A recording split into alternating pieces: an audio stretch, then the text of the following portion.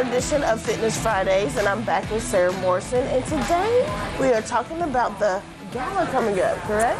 Yeah, our Fitness Inspired Gala. It's our annual event. We have it every year, and we're really excited. It is a great night out. One of the best nights out in the area, I would say. A reason to get dressed up, come out, celebrate, have a good time. There's food, drinks, dessert, and a ton of inspiration is what you'll leave with. Right, because I actually remember coming and covering the event last year, and it is something to be inspired if you're trying to lose weight. Yeah, or just feeling better or a more positive, healthy way.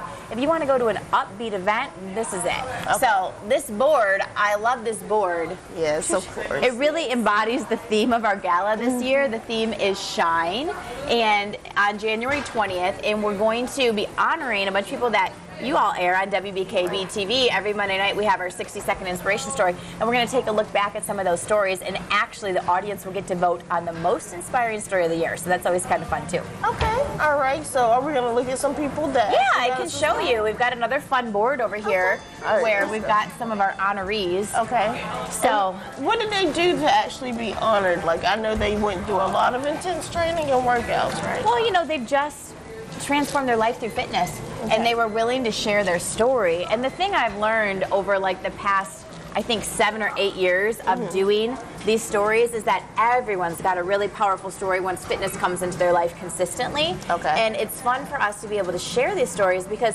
that's what impacts someone to make more change than them just knowing they should. Right. Getting to hear from one of these people, like Deanne, who was a yeah. widow and depressed and found fitness to be able to motivator again. Max moved here from Wyoming, didn't really know anyone, and he met a bunch of people here. And you know, instead of staying inside and being lonely and gaining weight, he's here socializing, losing weight. I see my neighbor.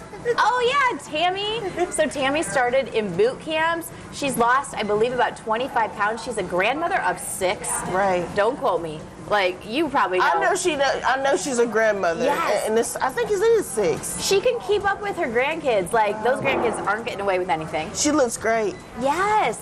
Alan has lost 100 pounds wow. since being a member here. Brandy is a teacher and a mother who really dreaded getting dressed in, this, in the morning. She's lost more than 30 pounds now. So we're going to get to share their stories all again, and it's a fun night, and this is a big part of it.